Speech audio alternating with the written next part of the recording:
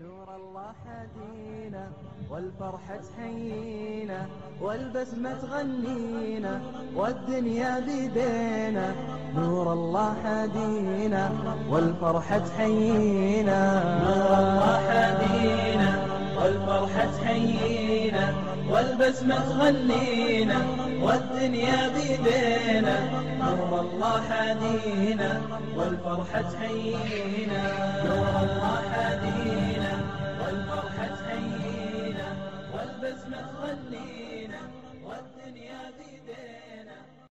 بسم الله الرحمن الرحيم الحمد لله وكفى والسلام والصلاة والسلام على عبده الذي استفى نبينا محمد وآله ومن والاه وبعد nekoliko riječi o tome kako čovjek da uživa u vjeri. Znači ima čovjek vjeru koja mu je došla od Allaha Đelešanuhu i koja ima za cilj da ga usreći na dunjaluku i na ahiretu. Je li tako? Znači svi znamo da je to vjera.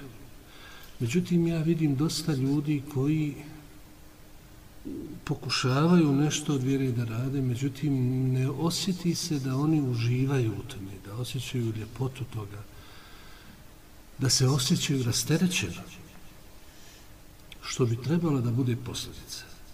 I ako mi znamo da je u stvari vjera došla s namjerom da usreći čovjeka i na Dunjaluku i na Ahiretu, a jest tako, i da je upotpunjena i, i usavršena, onda znači da nije problem do vjere, do, nego je problem do čovjeka koji pokušava da primijeni vjeru. Negdje griješi, negdje pravi problem.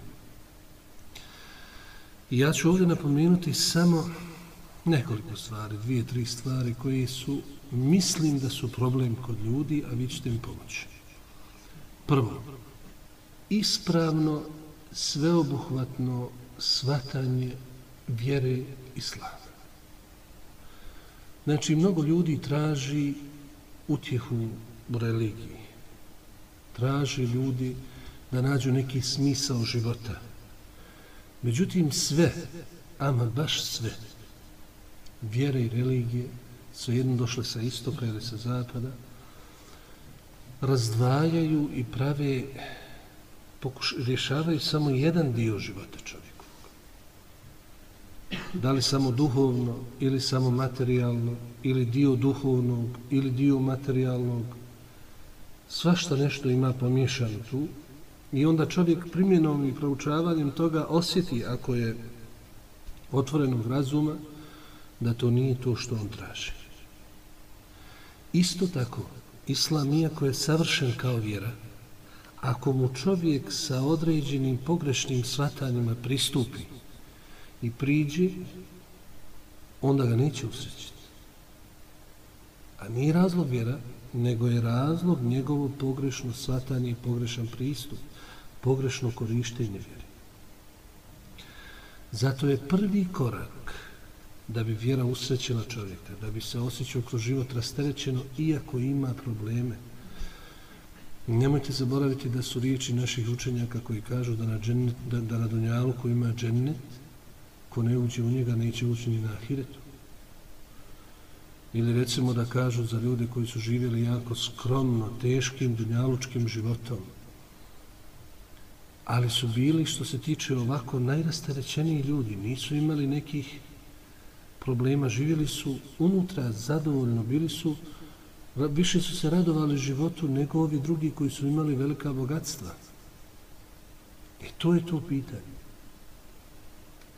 I zato je ovo svatanje osnovno prvo i bitno. Kada je u pitanju svatanje vjere koju je donio Muhammed alaihi salatu wasalam, morate znati dvije stvari. Da se ona temelji na dva principa. Prvi princip zove se iman, odnosno vjerovanje, stara naša ulema i starih generacija zvala je to sunnet. A to je dio koji mi danas zovemo akaid ili vjerovanje. Znači, islam koji je donio Muhammed alaihi salatu wasalam reguliše pitanje ubjeđenja kod čovjeka. Znači ono u šta vjeruješ i ta ubjeđenja, recimo naša ulema je u Koranu ima 6600 i nešto ajeta i oni su izučavali te ajete i našli su da Kur'an, odnosno Islam, kada je u pitanju vjerovanje, reguliše četiri pitanja. Osnovno. Znači, mogu se sva ta pitanja u četiri stvari sažiti. Prvo je odnos prema Bogu. To je uvijek pitanje koje je mučilo ljude od početka, odnosno od prvog skretanja, bilo je prvo tu, odnosno prema Allahu Đelešanu. Kako ispravno vjerovati u Allaha Đelešanu? Pa su onda izučavali, vidjeli sve te ajete, ponovo pretresli iščitavanje i našli, došli su do zaključka da bi vjerovanje u Boga, odnosno Allaha Đelešanu, bilo ispravno, mora sadržavati četiri elementa po Kur'anu, inače neće biti priznat. Odnosno, vjeruješ u Boga, ali neispravno kao da ne vjeruješ u njega. Ako nema ta četiri elementa. Prvi element je vjerovanje da Allah postoji. Drugi element je vjerovanje u Allahovo gospodarstvo, to jest da je on stvoritelj svega, da upravlja svim i da posjeduje sve. Treći element je vjerovanje u Allahova imena i njegove osobine. I četvrti element s kojim su Boži poslanici najviše imali problema sa svojim narodima, a to je pitanje praktičnog robovanja ibadeta. I islamom je propisano da je minimum nekakav koji čovjek mora da dokaže svoje robovanje pet dnevnih namaza. To su četiri elementa kada je u pitanju vjerovanja u Allaha Đeleša. Zatim drugo što objava reguliše kada su u pitanju objeđenje jesu takozvani nubuvat, odnosno pitanje Božijih poslanika, odnosno pojam poslanstva. U to ulaze pitanje ko su Božji poslanici? Šta su imali za cilj? Šta im je zadaća? Kakve su naše obaveze prema Božjim poslanicima? I tako dalje. Treće pitanje koje je objava regulisala kada je u pitanju vjerovanja su Božji objave. Rekao se nam, Rekao se nam kad su u pitanju Božji poslanici. Opet iščitavajući, vraćamo se stalno. Vi morate znati da naša vjera temelji se od prilike na 6666 ajeta po, po, po brojanju koje je ovdje prisutno kod nas. Rekao sam nam. Ili po 6300 i nešto. Nije to razlika u ajetima, nego je razlika gdje se nalazi tačka. Kur'anu. Tu se karije razilaze, ali riječi je jednako. I postoji negdje oko desetak hiljada hadijskih tekstova. Znači, i ulema kad dođe, pretražuje to, pretražuje, vidi, dođu i do određenih zaključaka dođu. I tako su pretraživali tih desetak hiljada hadijskih tekstova, šest hiljada i nešto ajita. I došli su do zaključka da su Božji poslanici svi, od prvog do posljednjeg, imali zadatak da ljude nauče tri stvari. Prvo, da ih nauči koga da obožavaju, to jest kojim je Bog. Drugo, da ih nauči način kako da izraze to obožavanje, odnosno kako da Allaha obožavaju. To je vjera koju su propisivali. I treći, da ih nauči šta ih čeka kad dođu kod Allaha Đelešanu, da neko ne bi mogo reći ja nisam znao. A što se tiče objava, objave su imale uvijek zadatak da isprave kod ljudi vjerovanje i da uspostave ispravnu praksu među ljudima. Što se tiče našeg odnosa prema objavama danas, Mi znamo da postoje objave u kojima Kur'an ne spominje ih detaljno, nemamo o njima pisanog traga, ali se zna da su bile, postojale i da su izumrle. I ostale su među nama danas četiri objave. Prva je Tevrat, ili Tora, kako je nazivaju. Druga je Zebur ili Talmud, kako je nazivaju oni. Treća je Inđil ili Evanđelje, kako ga nazivaju. I četvrta je Koran. Što se tiče našeg odnosa prema ove tri objave, to su Tevrat, Zebur, Inđil i Koran, one su danas svrstane u dvije knjige. To je Stari Zavjet i Novi Zavjet. Jednim riječu Biblija. I sadržaj biblijski, naš odnos prema biblijskom sadržaju je sljedeći. Prvo, ne preporučuje se običnim ljudima da čitaju uopšte taj sadržaj, nego treba da čitaju Kur'an, ali je dozvoljeno muslimanima da u naučno-istraživačke svrhe, ako postoji neko ko proučava to da bi ovaj, neke stvari analizirao i slično, on može da čita, ali običan svijet ne, oni treba da čitaju Kur'an. Drugo, taj sam sadržaj podijeljen je u tri vrste, kako ga dijeli Ibn Kesir u uvodu u svoj tefsir. Prva vrsta, sadržaj za koji mi kažemo da nije tačan, da je iskrivljen. To je sadržaj, možemo ga svrstati u dvije kategorije. Prva kategorija to je sadržaj za koji je Kur'an jasno rekao na određenom mjestu da to nije tako. I drugo, vidimo da se kosi sa osnovnim principima svih Božih poslanika koji su došli. I mi kažemo, taj nije tačan. Drugo, sadržaj za koji kažemo da je tačan. I vjerujemo da je tako bilo zato što je potvrđen u Kur'anu. Jer se pododaraju.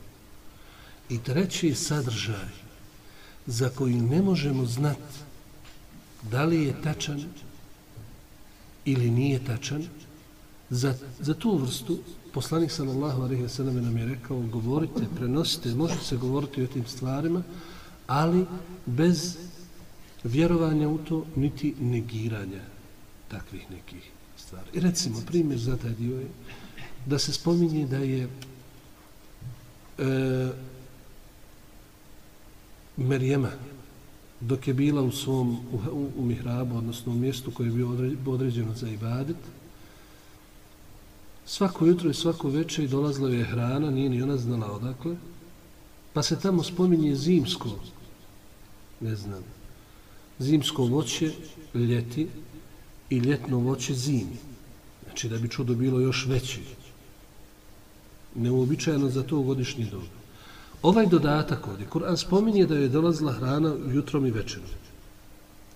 Ali ovaj dodatak da je zimsko voće dolazilo je ljeti, a ljetno zimi, to je biblijski dodatak. To se spominje u Bibliji i mi to ne negiramo, ali niti ne vjerujemo u to. Znači, možda je tako bilo, možda i nije. Ali to su obično stvari koje nisu bitne za nas, kao što recimo boja psa koji je bio, vrsta psa koji je bio sa mladićima iz pećine i tako dalje i tako dalje. I četvrto što regulisuje vjerovanja kajd, to je vjerovanje u gajb, u načelu vjerovanje u gajb i vjerovanje u ahiret, džennet, džehennem i sve što se spominje u vezi. Znači, da rezimiram, objava, ispravno svatanje objave i vjere je da vjera, odnosno objava, reguliše dva polja ljudskog života i temelji se na dva temelja. Prvo je pitanje ubjeđenja ili vjerovanja. Jel u redu? Drugo je pitanje propisa, odnosno šerijat. Pitanje ubjeđenja i vjerovanja, kad se sve sabere, oduzme i iščita, kao vidimo da ima četiri nekakva osnovna elementa. Naše vjerovanje u Allaha Đelešanuhu, naše vjerovanje u poslanstvo i Božije poslanike, naše vjerovanje u poslanice, odnosno objave, i naše vjerovanje u gajb. Sa svim što gajb podrazumijeva, u to spada vjerovanje u svijet meleka, svijet džina, džennet, džehennem, sudnji dan, predznake sudnjeg dana i tako dalje i tako dalje, sve što je preneseno u tom. Što se tiče šerijeta, znači sada je vjerovanje u redu, je u redu vjerovanje? Što se tiče šerijeta, šerijet se dijeli na dva, odnosno na tri nekakva dijela se može podijeliti. Prvi dio, pitanja koja regulišu naš odnos prema Allahu Đelešanu a to su propisi ibadeta. badeti. Znači, to su propisi namaza, u što spada i čistoća i abdest i gusul i ostalo. Drugo, propisi zekata, propisi uh, hađa, propisi posta i tako dalje. I to je jasno. To je u redu. Nauči se kako se posti i to je to. Nauči se kako se klanja i to je to. Nauči se kako se uzima čistoća i to je to. Znači, taj dio šerijata je jasan i on je manji dio šerijata. Je u redu? Drugi dio šerijata zovu se međuljudski odnosi muamelat, on sadrži propise koji su vezani između nas. Na vrhu toga spada propisi kupoprodaje, danas se to moderno naziva islamska ekonomija ili islamski ekonomski sistem. Bračno pravo, u što spada i brakorazvodno pravo, znači razvod braka, vrste razvoda braka, sunitski razvod braka, bidatski razvod braka, brojni propisi koji su vezani za taj dio. Kazneno pravo, tu spada i međunarodno pravo i svašta nešto. Znači, to su međuljudski odnose. I vađib je, farz je svakom muslimanu prije nego što uđe u neki međuljudski odnos da nauči propise tih odnosa. Recimo, čovjek će biti grešan ako ima priliku da nauči propise braka prije nego što se oženi, a onda napravi neku grešku prilikom sklapanja braka i slično i kaže nisam znao, a nije naučio. Biće grešan i ako stupi u nekakav biznis ili poslovni neki odnos, a ne nauči propise koji će ga sačuvati recimo od kamate ili slično, govorim ili prevare ili bilo šta drugo što, od nekih stvari koje nisu nazvane, mora naučiti te propise prije nego što uđe u... Isto kao što mora prije namaza naučiti propise namaza. Je u redu to? Nisi dužan recimo da poznaješ pitanja vezana za ženitbu ili za razvod prije nego što odlučiš da se ženiš. Je u redu? nećeš da se ženiš još u redu, ne moraš, ne moraš ne znati te propise. Ali onog trenutka kad odlučiš hoću da se ženim, dužan si da naučiš propise vezane za brak, sklapanje braka i slično. Ili razvod i tako dalje, ili ostalo sve što ide. Je u redu? Treći dio šerijeta je takozvani ahlakijat, a to su lijepo ponašanje i moralan život. Mnogi ljudi misle kad se spomene lijepo ponašanje ili ahlak da je to nešto onako. Međutim, Ulema je uvrstila ahlak u osnove vjere. Pa u knjigama koje govore o vjerovanju spominju da u vjerovanje islamsko spada i lijepo ponašanje. Što je od osnova vjere, nije to nešto što je nebitno. A ahlak islamski temeli se na tri velika principa. Prvo, da ne, ljudima ne činimo zlo. I zato dolaze sve zabrane koje govore o tim stvarima, nemojte gibetiti, nemojte nemimet širiti, nemojte ovo, nemojte ono. Znači, to je sve s ciljem da ljudima ne činimo zlo. Jel u redu? Drugi princip je da ljudima činimo dobro koliko možemo. Koliko smo u stanju.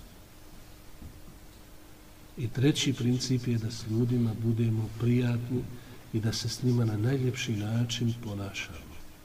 I u tom kontekstu je hadis koji je zabilježio imam Tirmizi wa halik in nase bi hulukin hasan i sa ljudima, znači sa svim ljudima ponašaj se na najljepši način. I ovdje morate znati jednu stvar. Svi smo mi stvoreni sa određenim karakterom, sa određenim osobinama. Neko je blag, neko oštar, neko žustar, ali svima nam je vađi i da svoju blagost i da svoju žustinu stavimo u okvir šerijeta i da se borimo protiv slabosti u određenom trenutku. Ima ljudi koji su toliko blagi da njihova blagost postaje pasivnost. Ništa. Ne reaguje ni na što. Taj svoju blagost mora da preispita i da uvede u okviru šerijeta i da u onim trenucima kad mu je propisano da reaguje oštrije, da reaguje. Nije bilo blažeg čovjeka od Božijeg poslanika sallallahu alaihi wa sallam. Ali kad su mu došli da se zauzimaju uh, jedna žena iz, bogatog, iz bogate ugledne porodice nešto je ukrala i trebalo je da se izaši kazna, da se osjeće ruka, pa su neki bogati ljudi i ugledni došli, kaže, kako ćemo, šta ćemo, da odemo, da nekako to preinači kaznu, nemoj baš eto što ruka, može nešto drugo da bude, neke kazne drugačije, da ne ostane trajne posljedice. Pa koga će, šta će izaberu Zeidan poslanikovog posinka, prije, prije zabrana pošto mu je on najdraži, on smije pričati sa njim što drugi nisu smjeli.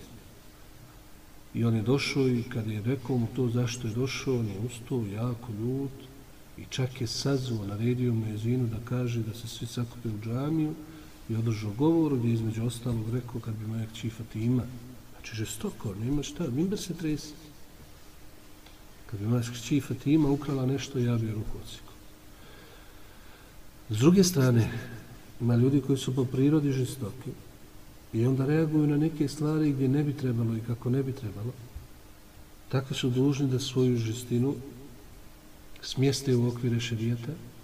A kako ćemo smjestiti u okvire šerijeta? Tako što ćemo naučiti prioritete u vjeri. To je što se tiče svatanja vjeri. والفرحة تحيينا والبسمة تغنينا والدنيا بيدينا نور الله حدينا والفرحة تحيينا نور الله حدينا والفرحة تحيينا والبسمة تغنينا والدنيا بيدينا نور الله حدينا والفرحة تحيينا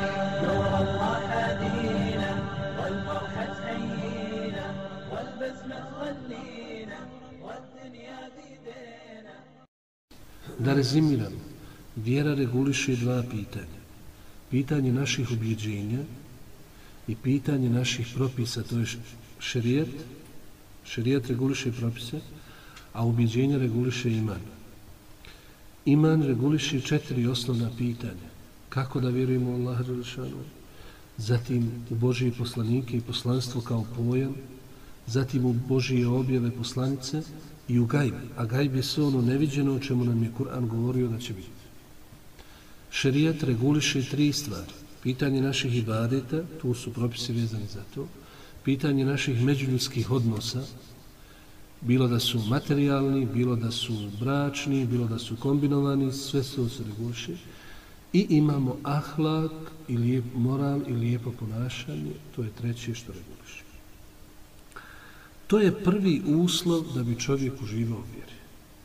Je u redu? Da je svati tako i kad Allah Đelešanu kaže ja juheladina amenu udhulu fi silmi kafe o vjernici uđite u islam potpuno, znači podrazumijeva se sve to skupa. Je u redu? Dobro. Drugo, ono što čovjeka, što sam ja primijetio da je kod ljudi problem, a uslov je da bi se uživalo u vjeri, je da čovjek svati da je on stvoren da bi služio Allahu, a ne ljudima. Znači, možda ova rečenica zvuči onako, ali je ona srž. Znači, ti si sada stvoren da bi bio Allahov rob. Njemu da bi služio, a ne ljudima. A ljudima činiš dobro iz dva razloga. Ili zato što su ti platili, dali ti platu da radiš određenu stvar koja treba društvu, pa ti radiš to i plaćen si i završena priča, ili zato što im činiš dobro da bi te Allah nagradio. Ne očekuješ od njih nikakvu zahvalu.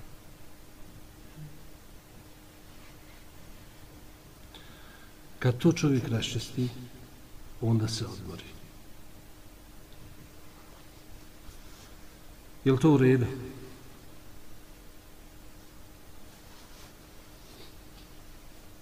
Treće što mora znati da bi mogo da uživaš u vjeri fino, a to je da čovjek shvati da on nije poslan ovdje da čuva svijet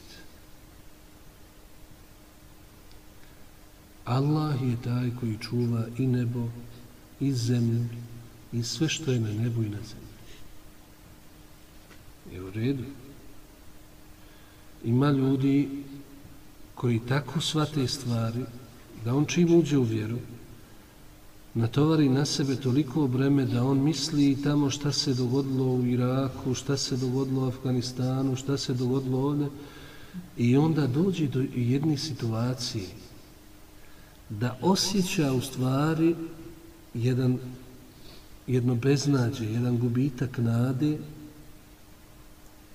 i onda ga to dovede do jedno, jednog gorkog osjećaja da on osjeća se kao da je sve propalo, da samo čeka kad će što bi rekao sudnji dan da propadne sve i gotovo. To je greška.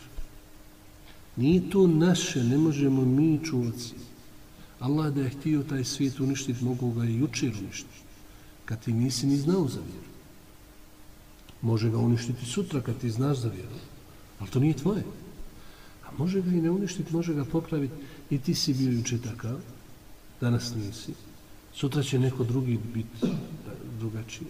Popravit će se ljudi na bolje. Što ne bi? A ako se i ne poprave, nije tvoj problem. Tvoje je da brineš i da, da, se, da te sikira ako si kakav grijeh da nas napravi. Kad ne dođe situacija da ti, a ti počiniš neki grijeh i ne možeš zaspati tri dana, e tad si došao u dobru situaciju. Tvoje je da te sikira zašto nisi na sabah ustao jutros. To problem. Meleci bili, došli, zamijenili se meleci dana i noći, kako poslanik se mi kaže, vratili se gospodaru svom, pita ih kako ste ostavili moje robove. Oni kažu spava. To je problem. To je muka. Tvoje je da se brineš o tome, da recimo ti si u vjeri mlad, zdrav, već nekoliko godina, treba da razmišljaš kako, koji novi hajr da uvedeš u svoj svakodnevni život. Pa makar to bila i dva rekata duha namaza. Kaže poslanik sa srlem, svako jutro čovjek se probudi. I dužan je za svaki, dužan, za svaki zglob da podijeli sadaku. Red? Čovjek znači, hadis u Buhari u muslimu. Svako jutro koje osvaneš ti moraš za ovaj zglob, ovaj zglob. Svaki ima 360 u tijelu. Svaki dan si dužan podijeliti, svaki čovjek dužan podijeliti 360 sadaka. Kaže poslanik sallam, dva rakata duha namaza zamjenjuju svih tih 360 sadaka. Samo dva. Može četiri, može šest. Ima Mahmed je pored svih svojih obaveza klanjao oko 300 rakata na filedniju. Nije sporno. Još on je bio prezauzet, znači on se smatra prezauzetim dercovima, ovim pisanjem usneda, svašta nešto. Ali bio, imao fetve, imao sve. I stigni nekako ulovi tri strekata. I oni su bili problemi. I oni su bili ratovi, kataklizme, krize. Ibn Kesir navodi u dijelu Elbidaju da je prošlo jedno vrijeme u, u Egipatskoj tamo dolini ostalo da je glad tolika bila da su ljudi jeli jedni drugi. Znači mrtvog čovjeka jede, znači umre, sjedi kad njega čeka da izdahne i onda ga jedi. Znači kriza je bilo, kriza će biti, krize nisu u našim rukama. Nismo mi ni krivi, zato nismo dužni da ispravljamo te stvari. I zato ne smijemo dozvoliti da nam šetan dođe i priđe nam sa strane dobra i odvodi nas na zlo da nas odvede od onoga što se nas tiče. Znači, onog trenutka čovjek kad shvati u stvari, da ga interesuje ono njegovo, da vodi obračun sam sa sobom prije svega, onda uz Božju pomoć on će moći da osjeti da svaki dan napreduje u nečem. Da napreduje. A to je cilj. Zato mi kažemo da čovjek treba da, da svaki dan bude povećanje u hajru i onda da dočeka uz Božju pomoć komu kome bude svaki dan povećanje u hajru, dočekat će i da mu smrt bude rahatluk od svega što je ružno. Sljedeće što bi trebalo, na što bi trebalo paziti, na što ljudi ne pazi danas, i zato nisu sretni u svom ispoljavanju vjere, a to je da Kur'an i Hadis ne naređuju samo obavljanje ibadeta, nego naređuju uspostavljanje ibadeta. Čitav Kur'an pretražite. Nećete nigdje naći u originalnom tekstu riječ obavljaju. Nego uspostavljaju i kamete sara. A to je malo veće značenje od samog, od pukog obavljanja. Problem nije danas kod ljudi koji čine i vadite, da su ih sveli samo na puku obavljanje, pa onda kad izađu iz tih ibadeta ne vidi se neka promjena na njih. Uzit ćemo primjer namaz. Uspostavljanje namaza počinje sa pravilnim uzimanjem čistoće. Pravilno uzimanje čistoće. Prvo, čišćenje ispravno od male i velike nužde. Posle svake male nužde i dužnosti prati se. Posle svake velike nužde i dužnosti prati se. U redu. I tijelo je dijelo i odjeću. Dalje. Od samog abdesta. Mi imamo takozvani abdest koji je dovoljan. Svi mezebi imaju nekakvu svoju verziju abdesta koji je dovoljan kao ispunjenje farcova. Međutim, poslanik sallallahu alaihi wasallam praktikovo je uvijek da abdesti se potpuno. I praktikovo je da se abdesti za svaki namaz, iako nije bila obavez.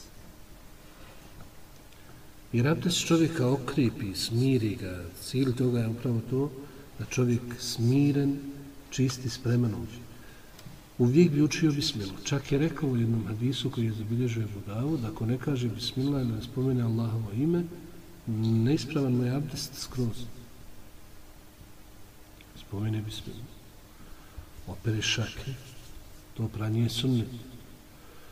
Pa i zapere usta, ali mora da voda obiđe usta da bude da kako se to zove grgolji voda. Ako ne ako samo ubaci izbaci nije to usta.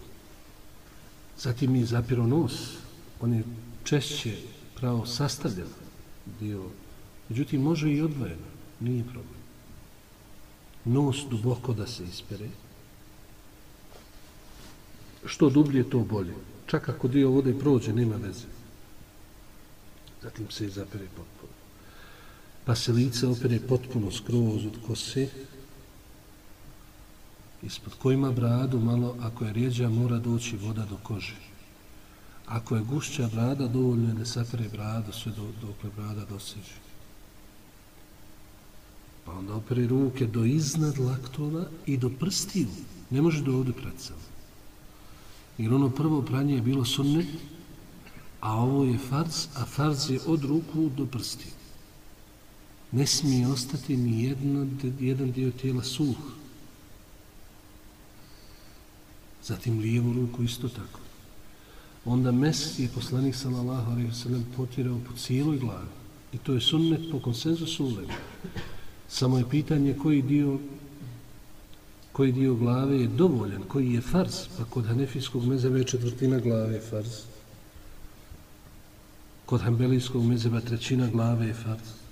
Kod šafijskog mezeba možeš dvije, tri dlake ovako da potreš to je dovoljno.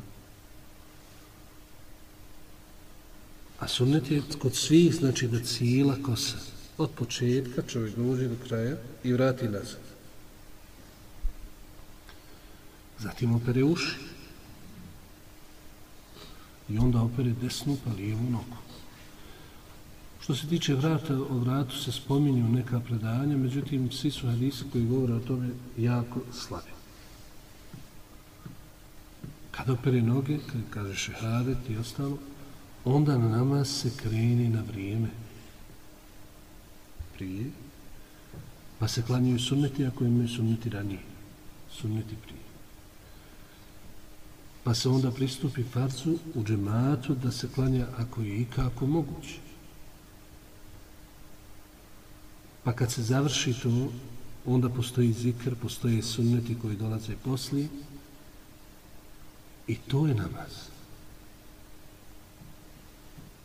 Da se svaka riječ izgovori kako treba. U okviru samog namaza imamo situaciju, recimo, da po konsenzusu uleme, ako čovjek od fatihe izostavi jedno slovo, neispravan mu je namaz.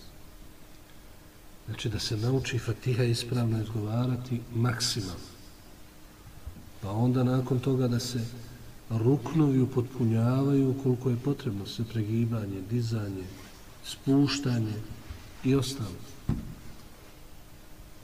Tako da taj dio ibadeta, kad uzmemo post,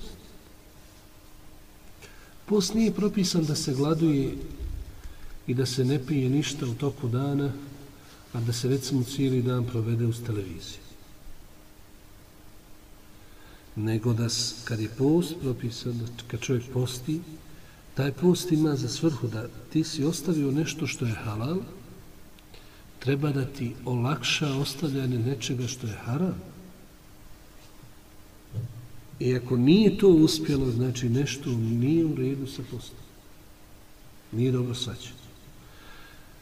O ibadetima treba voditi računa.